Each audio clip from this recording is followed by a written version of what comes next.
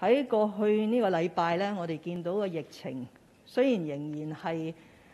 有誒好緩慢下降嘅跡象，但係亦都出現咗一啲嘅反覆確診個案呢，係出現喺一啲環境係我哋一直都係嚴守，希望佢唔會誒出現爆發或者感染，包括喺醫院啦，咁先後有聯合醫院同埋喺馬嘉烈醫院，啊後者咧目前嚟講係一個比較誒涉及。誒數字比較少嘅群組啦，咁啊亦都係啊再次有安老院舍咧係誒發現有確診嘅個案。咁啊另外就有啲好大型嘅地盤，每次都涉及